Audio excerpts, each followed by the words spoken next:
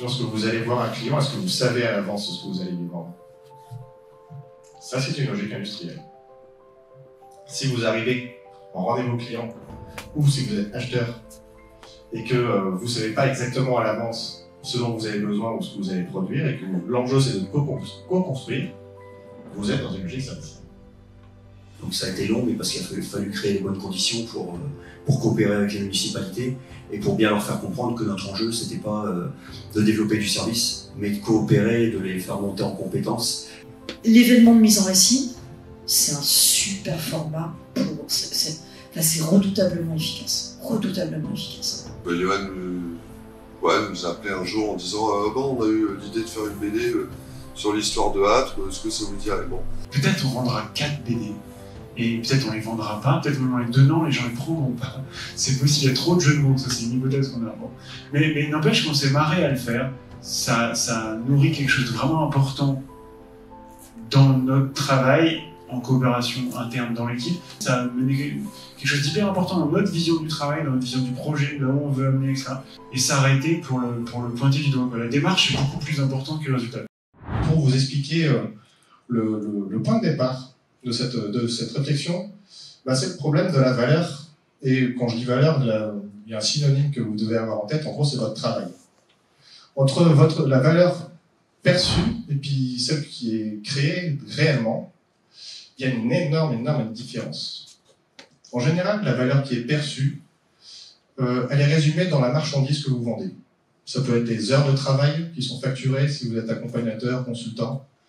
Euh, ça peut être un logiciel si vous êtes éditeur de logiciel. Ça peut être euh, des plaquettes si vous êtes imprimaire, etc., etc., etc. Sauf que le gros problème, est pour pouvoir changer le modèle économique, il faut absolument qu'on aille voir du côté de la valeur réelle et de votre travail réel. Et la grosse problématique que l'on a avec cette valeur réelle, c'est qu'elle est très immatérielle. La mise en récit, du coup, c'est une manière de pouvoir rendre accessible ça. Il faut que vous gardiez en tête que lorsque vous passez au travail de mise en récit, c'est déjà le résultat d'un premier travail. Le premier travail très très important sur lequel les adhérents, je suis désolé, ils doivent en avoir marre que je les bassine avec ça, mais c'est fait partie des invariants de l'économie de la fonctionnalité de la coopération. Vous pouvez mettre des choses en récit que si vous avez fait une, analyse assez fine de votre travail réel. Nous, ce qu'on appelle la réflexivité. C'est-à-dire votre capacité à revenir sur une situation qui s'est passée, une situation de travail, et que vous ayez analysé assez finement avec les concepts de l'EFC. Qu'est-ce qui s'est réellement passé?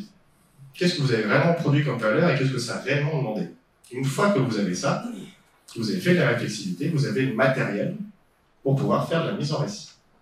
C'est aussi euh, le fruit, ce qu'on va vous présenter aujourd'hui, euh, un groupe de travail qu'on a créé euh, en mars 2023 avec des adhérents du Club Noé. Et on a pu produire, grâce à ça, un référentiel, c'est-à-dire des grands points qui nous semblent vraiment déterminants dans la mise en récit. Et c'est voilà ce, ce référentiel qu'on va vous présenter ce soir. L'idée ce soir, c'est vraiment de partir des expériences d'adhérents du Club Noé qui ont utilisé, expérimenté une mise en récit qu'on regarde, du coup, comment ce référentiel permet de mieux comprendre ce qu'est la mise en récit et ce qu'elle crée comme valeur.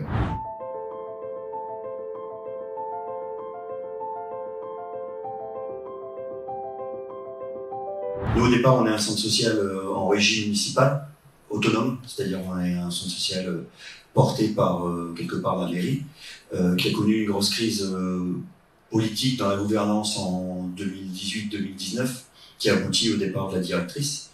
On a une nouvelle directrice qui est arrivée depuis 2019 et on a surtout la CAF, qui est notre partenaire principal, notre financeur principal, qui a émis deux injonctions pour qu'on puisse renouveler le projet du centre social. Euh, la première injonction, c'était de développer une participation active des habitants dans la gouvernance, puisqu'on avait une gouvernance qui était essentiellement composée d'élus. or, l'intérêt d'un centre social, quand même, c'est de laisser la place et la parole aux habitants.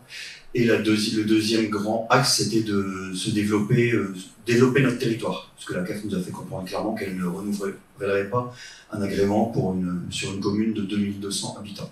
Euh, et donc nous, on s'est dit, bah, c'est bien de s'étendre, mais comment, comment on peut le faire Comment on va le faire? Euh, Sachant qu'on est une régie municipale, qu'une régie municipale, c'est quand même compliqué de se développer sur d'autres communes. Euh, donc on a réfléchi complètement notre modèle. On aura à terme une partie gérée par la régie, une partie gérée par une association. Euh, et surtout, on a dû embarquer euh, bah, des maires de communes voisines, qui sont tout aussi des communes rurales, euh, qui au départ n'avaient pas de besoin. Concrètement, on a été les chercher, on, leur a parlé de notre projet de, de dé- déploiement territorial et surtout, on a très très vite mis euh, l'aspect, euh, je dirais, euh, financier de côté, en précisant que bah, nous, on n'était pas une grosse structure, c'était que des petites communes, donc on partait pas sur un projet de prestation de services et de déploiement de services, mais bien sur un projet qui serait basé sur tout ce qui est mutualisation, coopéra- coopération territoriale. Donc ce projet se met en place progressivement depuis maintenant trois ans. Il a fallu développer la confiance avec les élus. Nous, quand on est parti euh, de ce projet en 2020, euh, et surtout Sandrine, euh, la directrice, on se projetait en se disant bon, dans un an, c'est plié quoi. La cave qui poussait derrière, euh, fallait avancer très vite. Puis finalement, trois ans, trois ans après, à peu près, on crée l'assaut. Donc ça a été long, mais parce qu'il a fallu, créer les bonnes conditions pour coopérer avec les municipalités et pour bien leur faire comprendre que notre enjeu, c'était pas euh, de développer du service, mais de coopérer, de les faire monter en compétences et surtout de mutualiser les moyens sur toutes ces petites communes qui étaient, euh, euh, je dirais, en, manque de, en manque de moyens, en manque de services, en manque d'ingénierie aussi au niveau du, du personnel. Donc, je ne l'ai pas précisé, mais donc, Centre social, c'est une structure d'animation locale hein, où on propose des actions à destination de tous les publics, de la petite enfance jusqu'au senior. Avec l'accompagnement d'ANIS, on a fait pas mal de séances de réflexivité qui nous ont permis de prendre un peu de recul sur notre quotidien. Euh, alors ANIS, c'est un, c'est une structure qui fait de l'accompagnement euh, en développement, qui existe depuis euh, un peu plus de 10 ans, qui a toujours cherché depuis l'origine à, ne pas s'inscrire dans un soutien à des modèles à la croissance, mais qui a aussi connu des périodes de crise, parce que ben, le modèle économique euh, du Conseil, c'est un modèle qui est particulièrement industriel. Simon l'évoquait tout à l'heure. On vend des heures, mais surtout, euh, on, est toujours dans une logique euh, de course au devis, avec plutôt un métier qui s'encapsule dans des missions courtes. Donc, ça, ça dénote, ça dénote une, une certaine, une certaine logique de volume. Donc, ben, on a nous-mêmes vécu des périodes de crise profonde euh, avec ben, régulièrement euh, la possibilité que, euh, qu'on soit amené à mettre la clé sous la porte. Donc, par la force des choses, euh, innover ou périr. Euh, on, a, euh, on a pris des sentiers de traverse. Euh, et puis, quand on a découvert l'EFC, ben, ça nous a amené beaucoup de clés, en fait, pour pouvoir aller plus loin, mieux conscientiser les limites dans lesquelles on était pris. Et puis, par capillarité, en fait, ça a complètement transformé notre métier. Euh, et euh, ça a complètement coloré maintenant euh, tous nos accompagnements. Je ne pense pas que c'est un biais de perception que de voir des problématiques d'enjeux de modèle économique chez tous nos clients. Je pense que voilà, aujourd'hui, ça devient vraiment un sujet, un sujet cœur et beaucoup de structures sont complètement à bout de souffle sur leur modèle. Par cœur, euh, par prédilection, euh, on travaille beaucoup avec les acteurs de l'action sociale, donc euh, les centres sociaux, les espaces de vie sociale et les acteurs de l'insertion par l'activité économique. Et aujourd'hui, ce sont des secteurs qui sont pris dans des modèles qui sont contraints depuis très longtemps, mais qui le sont de plus en plus avec en toile de fond euh, une tendance à la baisse des financements et du soutien public qui, euh, bah, les, les conduisent à des situations euh, très complexes qui génèrent beaucoup de tensions sur le travail. Donc on se préoccupe beaucoup des enjeux de santé dans, dans ce secteur de l'économie sociale aujourd'hui. Globalement, la mise en récit, on l'a, on l'a travaillé sur, le, je pense, début d'année 2023. On a commencé à travailler. Ouais. Sur, bah, sur plusieurs de nos, actions, hein, globalement. Et ça aboutit à un grand événement, enfin, un grand événement, je ne sais pas si les vrai, de, de signature de, charte. Euh, puisqu'en fait, nous, on voulait quand même que les communes, même si euh, la charte, c'est plus une symbolique, puisque c'est pas, il n'y a pas d'engagement, comme j'ai dit, euh, surtout pas d'engagement financier, puisque sinon, de toute façon, les communes n'auraient pas suivi. Mais c'est une charte qui les engage dans la coopération, dans la mutualisation. Donc, et ça a donc abouti sur cet événement du 23 où on a présenté toute notre trajectoire grâce à, avec la meilleure ici aux, élus présents, mais qui étaient déjà au courant puisqu'on les a depuis le début, mais surtout aux partenaires, CAF, département, communauté de communes. on a pu présenter cette trajectoire et un petit peu changer leur regard, surtout sur l'aspect évaluation. Nous, les partenaires, je pense que les vôtres, demandent des chiffres, tout le temps des chiffres. Et nous, enfin moi aujourd'hui, moi le premier, je vois pas l'intérêt de, des, évaluations quantitatives pures. Donc on, a vraiment revu notre système d'évaluation où aujourd'hui on est sur une évaluation euh, du travail fait, mais surtout de l'impact vis-à-vis de nos, usagers et des habitants. Voilà, parce que quelque part, euh, démultiplier les actions pour avoir du nombre, enfin, c'est pas viable pour nous.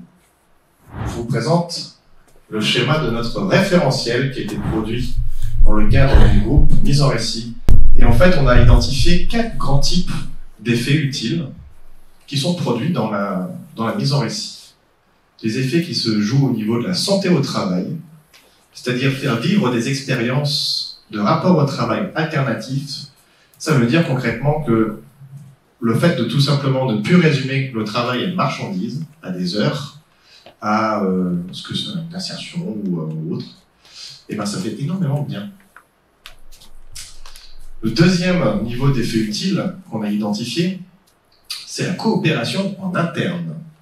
Notre définition de la coopération, c'est l'ensemble des activités de travail que vous faites pour prendre en compte les contraintes de l'autre et que vous faites aussi pour rendre compte vos propres contraintes pour que l'autre les prenne en charge. Mais sur euh, la partie jaune, euh, la partie qui concerne la santé au travail, il y a un élément très très important dans, dans, l'enjeu de la mise en récit, c'est que c'est vraiment très très important de mettre en avant l'aspect subjectif du travail.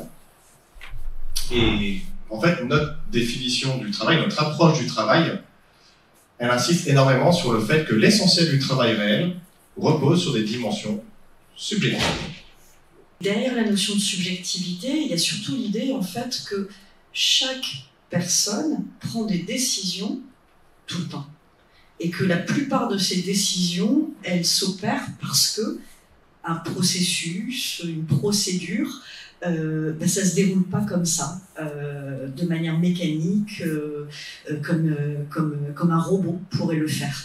Et donc tous les écarts qu'on peut rencontrer parce qu'il y a des aléas, parce que les procédures ne permettent pas de répondre à toutes les situations, d'ailleurs à très peu de situations finalement, on est tout le temps en train de gérer l'écart.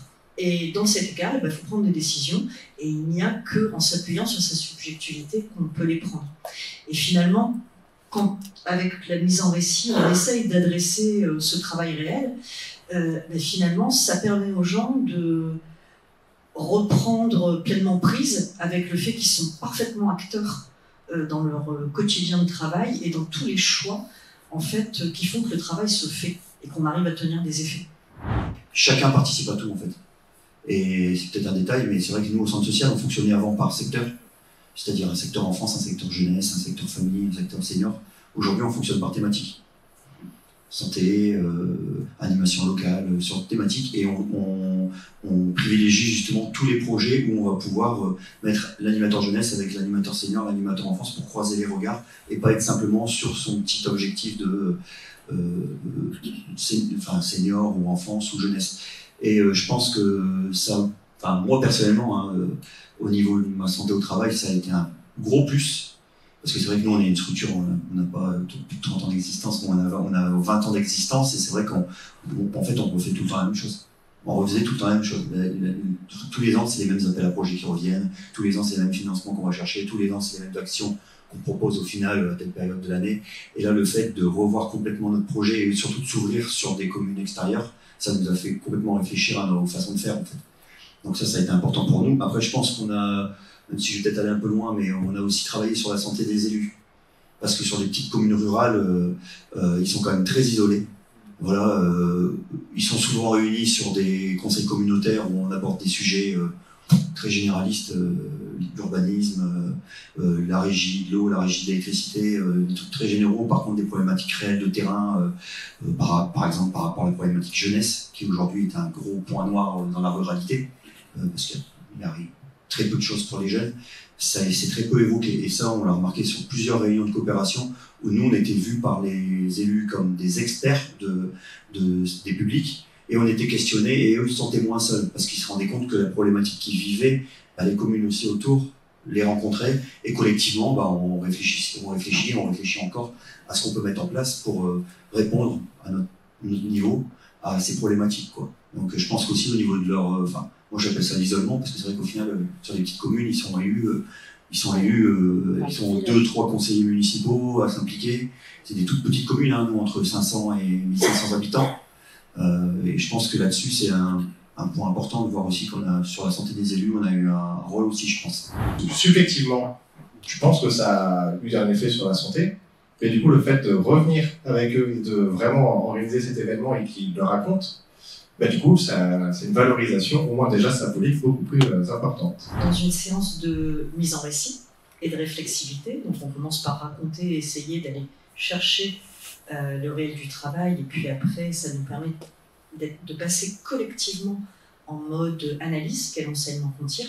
Vous savez jamais à l'avance ce qui peut arriver. Il peut se passer plein plein de trucs. Euh, effectivement, Mathieu évoquait, euh, voilà, parfois il y a un trop plein d'émotions qui remontent et il faut que ça sorte. Quoi. Et moi je me souviens d'un autre atelier d'équipe euh, qu'on a vécu où une personne en particulier, je crois que tu n'étais pas là, qui reste fermée pendant toute la mise en récit. En récit. Et même physiquement, ça se voit. Posture de fermeture corporelle, et puis, euh, et qui dit plus rien. Et donc, à un moment, euh, je l'adresse pour euh, essayer de comprendre. En fait, on était sur une fonction dite support, la communication. Et on était en train d'analyser l'une des, des missions clés du centre social sur les actions familiales. Mmh. Et à aucun moment, aucun collègue n'avait parlé de sa contribution et du travail que lui portait et des effets qu'il produisait pour le travail euh, des personnes qui étaient en charge de cette mission. Et ça a été trop pour lui. Euh, il a vécu un manque total de reconnaissance de son travail. Ça a été du coup, euh, voilà, ça affecte beaucoup ce, ce genre de choses. mais le fait qu'on ne le laisse pas passer, qu'il puisse l'exprimer face à ses collègues, ça, crée une grosse prise de conscience de la part de ses collègues de se dire, ben oui, en effet, c'est pas normal. Nous non plus, enfin, c'est pas normal de ne pas euh, se préoccuper du fait qu'on est euh, finalement conditionné par des logiques de silo qui, même quand on commence à les casser entre services, en fait, elles existent aussi entre les fonctions support et euh, ceux qui portent les projets. On ne s'est pas contenté simplement de, convaincre les élus, on a été sur, sur le terrain euh, convaincre ce que nous on appelle les personnes ressources, euh, sans qui bah, on ne peut pas faire grand-chose, c'est-à-dire ça va de la directrice de l'accueil du loisir à la directrice, passant par la directrice d'école, tous les présidents d'associations. On a été mobiliser tous ces acteurs-là sur le terrain pour mettre en place des projets coportés. Voilà, c'est-à-dire qu'on arrive, je répète, on n'est pas sur un principe de, de prestation, c'est-à-dire que on, est toujours sur un principe où on peut aller sur une commune faire une action, mais elle est mise en place en partenariat avec l'association euh, sportive euh, locale, avec euh, l'école, avec le partenaire local. Quoi. Et donc, ce, qui, ce qui est un point aussi important, c'est que ça permet aussi de monter en compétence au niveau, par exemple, des, élus, puisque c'est des élus qui ont, par exemple, pour ce public jeunesse, hein, c'est pas un public qui est facile à approcher, surtout quand on a des groupes sur la commune qui peuvent être des fois en entre guillemets en errance ou autre. Et donc nous, avec notre, petite expertise, ben, on les a aidés à, aller à la rencontre de ces jeunes. On a, mis en place des choses avec eux euh, qui aujourd'hui ont, je pense, permis de créer, recréer du lien entre ces municipalités et euh, une partie de leurs habitants. D'une certaine manière, vous pourriez entendre ce que Mathieu dit en disant, bah, euh, oui, évidemment, quand on est un acteur comme un centre social, coopérer, enfin, euh, créer des partenariats avec les partenaires opérationnels, comme on dit, sur un territoire, euh, c'est un passage obligé. Là, ce que ça a beaucoup changé, c'est de se dire la qualité de la relation, elle va devenir fondamentale pour pouvoir tenir les effets utiles et pas simplement être un fournisseur de services qui répond euh, à une commande.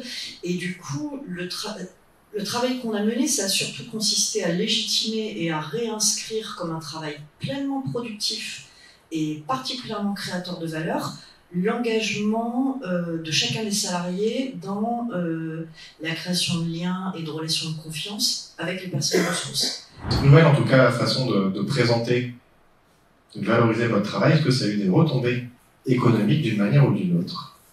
C'est dans la mutualisation, quoi. Et vraiment tout bête, mais euh, je répète, des petites communes, un seul exemple, hein, chaque commune n'a pas un véhicule, euh, bah, on a mutualisé 5 véhicules sur les, sur les 8 communes, ce qui permet de, de déplacer les publics plus facilement sur les actions, mutualiser les, équipements.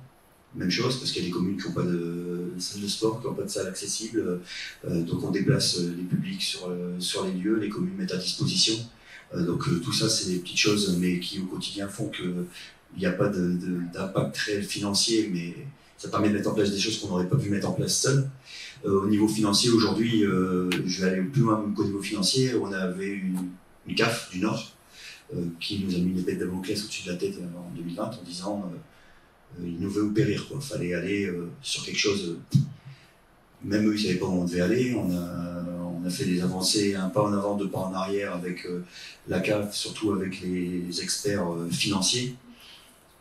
Sont des experts financiers, donc euh, a fallu les solliciter euh, qui ne savaient même pas dans quelle case on pouvait mettre tel chiffre, mais euh, il, a fallu bien, il a fallu trouver des solutions. Et on a trouvé des solutions pour justement aujourd'hui avoir un système qui pérennise la structure.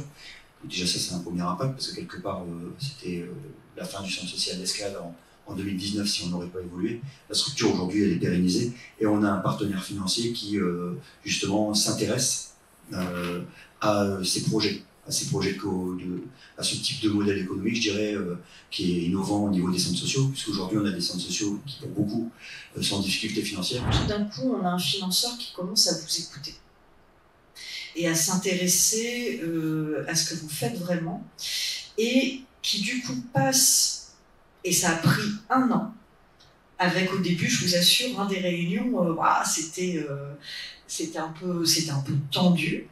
Et puis euh, maintenant, on peut facilement passer euh, 3-4 heures avec la CAF en ayant l'impression, un- une vraie qualité de dialogue, euh, avec euh, chacun a fait 50% du chemin pour pouvoir créer une nouvelle condition d'échange. Et en fait, ce que ça change beaucoup, c'est que tout d'un coup, vous avez un financeur qui vous attend au tournant, et vous passez à un financeur qui devient un allié. Et donc, par exemple, il va euh, vous révéler certaines euh, arcanes secrètes, entre guillemets, de, euh, bah, ces cartes à jouer. Quand un financeur veut vous aider, il, a, voilà, il va faire l'effort d'aller aussi mobiliser les bons dispositifs, les bonnes lignes de financement. Peut-être que vous, vous ne les connaissiez pas, mais là, tout d'un coup, il devient acteur. Et là, à un moment, effectivement, ça peut aboutir à euh, des perspectives euh, de financement plus pertinents, déjà. Déjà que le financement soit plus pertinent, qu'il soit moins euh, directement accolé au volume. Voilà. Un nombre, de, un nombre de bénéficiaires, un nombre d'ateliers. Qu'on puisse sortir de ça pour euh, déjà mieux flécher euh, les financements existants et qu'on puisse aller chercher d'autres formes de financement euh, pour pérenniser des dynamiques et surtout couvrir le développement des ressources immatérielles. Parce que ça, nous, c'est une grosse, partie de notre travail avec les financeurs, c'est de dire animer une démarche de coopération territoriale avec une dizaine d'élus. Euh, derrière les élus, il y a les agents. Derrière les agents, il y a toutes les personnes ressources. Il y a l'équipe interne. Tout ça, euh, c'est du travail humain et ce travail humain, il doit être financé correctement pour pas se faire sur le reliquat qui reste quand on a fini de faire les actions, qui elles sont financées. Nous, la mise en récit, en fait, elle est apparue à un moment comme euh, un outil euh, qui allait pouvoir nous servir dans la trajectoire. Je ne suis pas venue taper à la porte de l'escale en disant coucou, on va faire de la mise en récit. En fait, j'ai été mobilisée dans le cadre euh, d'un- d'une consultation, une petite mise en concurrence, sur une démarche d'étude, sur un cahier des charges qui avait donc été co-construit avec le centre social et surtout avec ses partenaires financeurs, en premier chef euh, la CAF, pour pouvoir faire un peu une étude de faisabilité, puisque si on se déploie et si du coup il y avait la certitude que le déploiement devait passer par une évolution juridique, sortir de la régie personnalisée plutôt privilégier euh, structure associative. Euh, du coup, je suis arrivée sur une étude avec des attentes hyper techniques. Euh, sur le plan juridique, sur le plan euh, du coup des impacts des évolutions sur les conventions collectives, sur la manière de sécuriser les contrats de travail, et puis évidemment sur le plan financier. Donc le décalage a été très important entre euh, la demande et puis finalement ce qu'on a réellement fait, ce qu'on a vraiment mis au travail. Le travail que je pense avoir engagé pour pouvoir tenir un petit peu cette promesse euh, de décalage de la demande initiale, ça a été le travail réel. Il faut qu'on arrive à aller, euh, il faut qu'on arrive à faire de la révélation et de la compréhension du travail réel et de ce que produit réellement en termes de valeur le centre social, la base pour prendre des décisions sur euh, euh, quel va être son mode de développement de demain, qui va être euh, le plus pertinent euh, et qui va soutenir. Bah, je, vais prendre un, concept, mais la vraie proposition de valeur. Donc la mise en récit, elle est apparue comme étant, euh, euh, dans mon travail, c'est un outil méthodologique. C'est-à-dire que si on veut faire de la réflexivité, c'est-à-dire ce moment où finalement euh, il s'agit de, une fois qu'on a repéré tous les écarts entre le prescrit, ce qu'on est censé faire quand on est un centre social, et le réel, ce qu'on fait vraiment sur le terrain, au contact des habitants, des partenaires, des élus, etc., euh, et de tirer en fait un maximum d'enseignements par rapport à ces écarts, bah, en fait il nous faut des outils pour pouvoir les pointer et les révéler ces écarts. Et c'est là que la mise en récit est particulièrement puissante, parce qu'en racontant le travail, euh, évidemment en étant un petit peu poussé, parce que euh, si vous ne l'avez jamais vécu, c'est extrêmement difficile. hein. Euh, à la question euh, c'est quoi ton travail, on est tous généralement pris en défaut et assez mal à l'aise. Et, donc la mise en récit, ça permet de faire ça. Ça permet de commencer à accéder à ça. Et ensuite, moi dans mon travail, ce qui est important, c'est que ça puisse aussi être transmis pour que euh, effectivement euh, euh, les membres d'une équipe de travail puissent aussi dans les relations qu'elles ont à l'interne mais au quotidien avec leurs différents partenaires commencer à développer ce réflexe de parlons du vrai travail formulons nos contraintes N'ayons pas peur de questionner l'autre sur ses contraintes et n'ayons pas peur aussi de dire, ben voilà, moi mes contraintes, elles sont là. J'ai besoin qu'on travaille à partir de ça. Dans les centres sociaux, comme j'ai dit, on est souvent un prestataire. Donc il fallait qu'on change, nous, notre regard en tant que professionnels sur nos métiers. C'est-à-dire ne plus être dans une démarche de faire pour, mais dans une démarche de faire avec. On a de la CAF qui nous dit euh, des grands objectifs, euh, développer le pouvoir d'agir, euh, développer, ça veut dire quoi Développer le vivre ensemble, etc. Mais en fait, on avait toujours tendance à faire pour. On mettait en place des choses pour. Et là, maintenant, vraiment, la démarche a été inversée. On fait avec. On part des besoins, des moyens, avant de raisonner euh, action. Quoi. Alors que avant, on partait en se disant, bah, allez, on va faire telle action, sans même avoir réfléchi à, ce qu'on devait mettre en place avant. Voilà, les prérequis de l'action. Et c'est là où, le début de ta démarche, c'était réellement ça, de nous accompagner, nous, professionnels, sur un changement de posture euh, et passer du faire pour au faire avec. On a tenu, et c'est pour ça qu'à un moment, euh, il faut passer par des formes de travail collectif, parce que ça demande de l'énergie et ça demande euh, de pouvoir aussi euh, préserver sa santé, de tenir face à une institution pour lui dire, nous devons dialoguer. Vous, par exemple, vous euh, nous demandez d'intégrer un certain nombre de vos contraintes réglementaires. Nous ne sommes pas experts. Nous avons besoin de rencontrer vos experts. Il n'y a aucune évidence pour une CAF de mettre en relation directe une association avec ses experts internes. Mais on n'a pas lâché. Et donc, bah, dans un premier temps, ça passe par des échanges de mails. Je vous raconte pendant 4 mois. 4 mois pour avoir le droit à une visio d'une heure avec euh, euh, l'expert en contrôle de. En contrôle. euh, comment ça s'appelle? En contrôle CAF. Mais- qui prenait sa retraite un mois après, qu'en plus le timing. Mais euh, le fait en fait que le projet soit, par- soit porté de manière très collective avec l'ensemble de l'équipe fait que on arrive à tenir en fait et à se dire non, on lâche pas, on renonce pas, on y retourne. La deuxième chose qui se produit, Et bah, là, on revient à notre sujet de plénière, faire un événement de mise en récit. C'était une manière, c'était hyper tactique comme choix, que cette mise en récit, elle passe par un événement euh, où, côté euh, personne sur la scène, on a fait témoigner toutes les parties prenantes qui s'engageaient dans cette nouvelle dynamique de travail.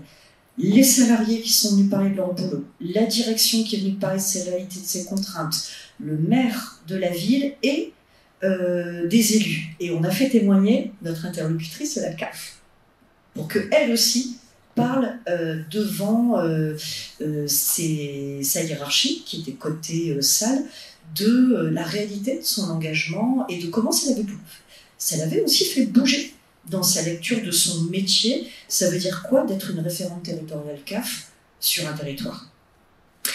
Et puis l'autre euh, dimension tactique de cet événement, c'était ben on va le rendre public cette affaire.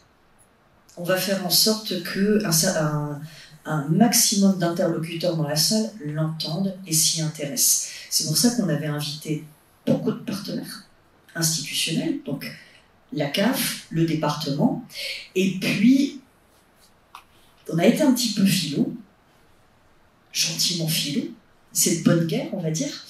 On a fait en sorte que le conseil, la présidente du conseil d'administration de la CAF soit là, pour aussi avoir euh, une écoute euh, au niveau de la gouvernance politique de la CAF. Et ça, ça a vraiment été fabuleux. Et donc, du coup, de, par capillarité, mais pas de manière complètement naturelle, hein, euh, dans le FC, on est aussi tactique, euh, en fait, ça nous a permis euh, que tous nos enjeux ne reposent pas sur une seule et unique personne. Et l'événement de mise en récit, c'est un super format pour. C'est redoutablement efficace. Redoutablement efficace.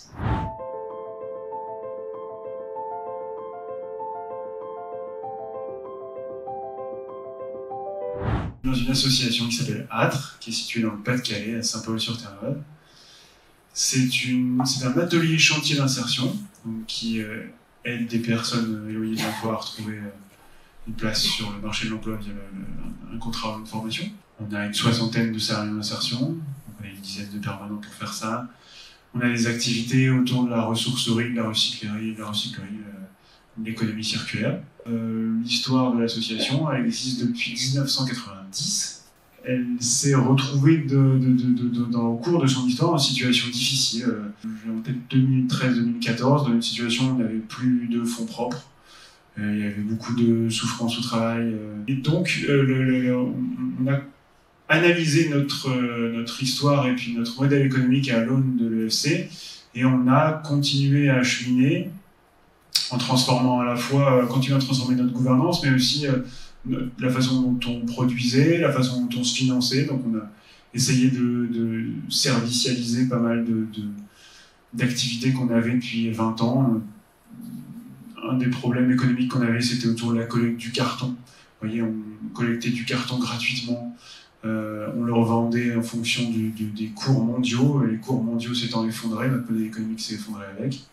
L'UFC est arrivé sur son cheval noir et on a compris que, ou blanc, je ne sais plus, et, on a compris que euh, on était utile, on avait plein d'effets utiles et qu'on n'était pas payé pour ça. Et donc on est passé à une notion de service pour collecter du carton et on a transformé notre modèle économique en partie, euh, en partie comme ça sur cette, activité-là, comme exemple. Comme on a rencontré l'UFC à travers un groupe de dirigeants dans le Terre Noir, on a, et qu'on a transformé chacun nos modèles économiques en, développant des coopérations et en analysant nos modèles respectifs, on a développé une, une, association qui s'appelle l'Agora du Ternois et qui euh, porte le FC sur le territoire, d'une part, et qui porte des projets qui tiennent à cœur aux acteurs et qui favorisent les coopérations locales. Le livrable euh, auquel on est censé arriver, auquel on est en train d'arriver, en tout cas un des effets médias, c'est la création d'une bande dessinée d'une quarantaine de pages, euh, dont vous avez la des potentielles premières pages, là, il y a deux secondes, et là, c'est, euh, je crois que c'est la première page de récit qui raconte notre l'évolution de notre vision du travail en se servant de l'histoire de l'âtre. Nous, ce qu'on a découvert en travaillant sur ce projet de BD, c'est justement ce que faisait Âtre. Donc euh, moi, Pierre Vion, ça c'est qui je suis, c'est pas très intéressant. Le Gobelin du Ternoir, par contre, ça c'est fascinant. Euh, déjà, vous voyez, c'est sympa. C'est un journal local euh, en ligne, installé, comme son nom l'indique, dans le Ternois, donc bah, comme euh, Johan, comme l'Agora du Ternois, donc un, un très joli petit coin du Pas-de-Calais. pourquoi j'insiste sur l'aspect territorial? Parce que c'est un peu le, fondement de, notre projet. Euh, notre idée de base, c'était donc de, faire un média local sur notre petit territoire euh, campagnard, dont je suis issu avec euh, deux, trois copains, on est tous de ce coin-là. Il y a un vrai attachement, il y a une identité pour ce territoire, c'est un truc qu'on a déjà constaté, hein, qu'on s'explique pas trop. Mais on s'y tient, ça mériterait, il y, a, des tas de gens qui font des, super choses. Mais on était à 3-4, on s'est dit tiens on va faire un média comme ça, on avait zéro business plan, on avait zéro structure. On a monté un blog et puis on a commencé à faire des articles. Et euh, bah, en fait ça a marché. Enfin ça a marché, pas économiquement, mais euh, ça, ça a intéressé les gens et puis euh, on a créé une, petite communauté, une dynamique. Je vais, vais peut-être pas faire une liste à la prévère de tous les effets utiles, mais je, je peux dire quelques-uns qui nous ont semblé importants. Je crois que celui qui me marque le plus, c'est le fait de créer un récit commun ça paraît, ça paraît peut-être simpliste, mais euh, au bout de bientôt 35 ans, une asso comme la nôtre, elle a été vécue et traversée par euh, des, milliers de personnes. Entre ceux qui l'ont démarré, ceux qui ont assisté à sa, croissance de 90, ceux qui ont travaillé en insertion, ceux qui viennent acheter, ceux qui ont lu les jeux articles les journaux. Chacun a une part de, de la réalité et de l'histoire de l'asso. Donc une vision. Toutes les phases qu'on a eues de construction de la bande dessinée, ça nous a permis d'établir un, récit commun, c'est-à-dire de, de, raconter et de décider ensemble de ce qu'on a vécu dans les 34 dernières années, euh, de ce que Atre a vécu, et de pourquoi des fois ça n'a pas été, pourquoi des fois ça a été, qu'est-ce qui a fait qu'on en est arrivé là, qu'est-ce qu'on a envie de faire pour que ça change, où est-ce qu'on va. On a, on, a, on a, bossé le, scénario, on va dire toutes les idées à mettre dans la vidéo, on les a travaillées en conseil d'administration, ils ont travaillé avec les salariés, avec les services d'insertion, avec les partenaires, avec les citoyens. Enfin, on a fait travailler différents cercles sur ce qu'ils voulaient mettre dans la BD, ce qu'ils trouvaient important de, mettre sur ce thème du travail et recouper avec l'histoire de l'âtre. Et, euh, et, selon les cercles que vous aviez, vous n'aviez pas du tout la même version de l'histoire. Comme des fois il y a des débats sur l'histoire de la France, vous écoutez deux historiens, ça c'est pas du tout le même truc, les gens n'ont pas vécu la même chose. C'était exactement ça. Il y c'était tellement merveilleux le, le, démarrage de l'association, euh, l'enthousiasme, l'implication, etc. Et j'ai le témoignage d'un mec qui a dit mais c'était horrible. On travaillait dans des conditions précaires, il y avait des filles électriques qui baignaient dans une flaque d'eau. Enfin bon, c'est le fait de pouvoir construire un récit où après finalement j'entends d'un côté euh, ah c'était génial, euh, qu'est-ce qu'on était motivé. Bon, mais c'est vrai qu'il y avait quand même des conditions qui se sont améliorées. Et de l'autre côté entendre euh, bon, c'est vrai que c'était pas facile, mais en même temps, quand on voit où on est arrivé, c'est génial. Mais vous arrivez à construire du dialogue autour de personnes qui viennent d'horizons différents et de construire de, de dire, un objet commun. C'est-à-dire qu'elles s'opposent plus autour d'un objet, mais elles sont d'accord autour d'une du, du, partie de ce qu'elles partagent, c'est-à-dire l'association. Quand on est venu à discuter de pourquoi une période l'association a été moins bien, euh, les administrateurs, les anciens administrateurs qui sont revenus pour en parler, ils avaient leur vision personnelle des choses.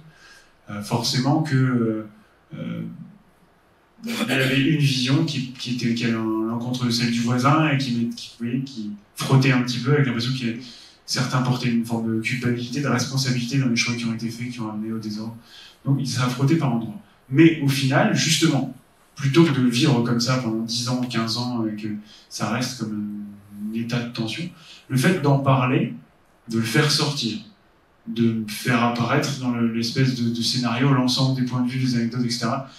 Et ben il y a comme une espèce de, je trouve, de, soulagement, de relâchement, que chacun ait droit à la parole euh, et, que sa parole soit prise en compte, en sachant que nous, dans le format de la BD, on ne pouvait pas tout raconter, mais que c'était pris en compte dans le récit et qu'on allait voilà, tenir compte du ressenti de chacun euh, et du vécu de chacun et du travail de chacun dans le résultat. Ça, c'était une vraie euh, source de santé et de cohésion dans, tous les groupes.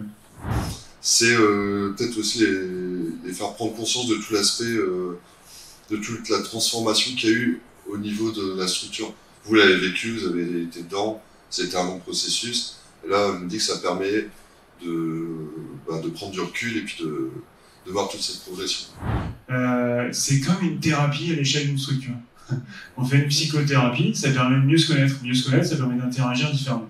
D'un coup, le fait de, se percevoir différemment, de, comprendre son mode de fonctionnement, de comprendre son histoire, d'où on vient, enfin, ce qui s'est passé avant, et, et d'établir un récit, ça permet de se projeter vachement différemment. Quoi.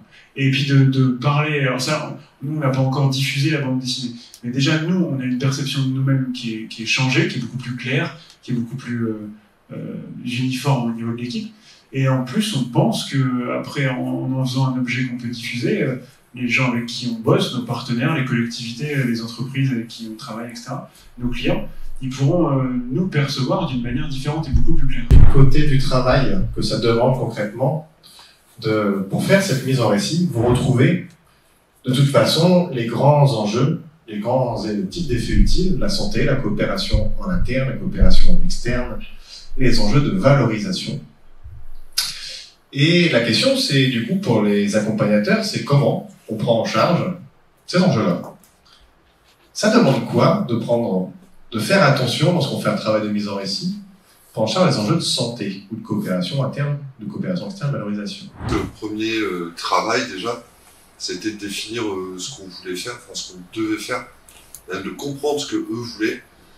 Euh, parce que bah, Johan nous, a appelé un jour en disant ah, bon, on a eu l'idée de faire une BD sur l'histoire de Hâtre, est-ce que ça vous dirait bon. Euh, on a gardé BD, on a gardé Hâtre, après il y a énormément de choses qui ont évolué.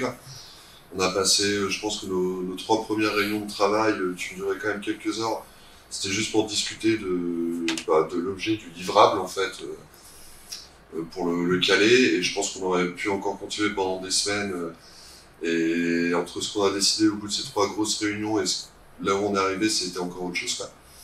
Donc euh, l'accompagnement, c'était déjà ça. Après, déjà merci Johan aussi de nous avoir laissé une place d'accompagnateur.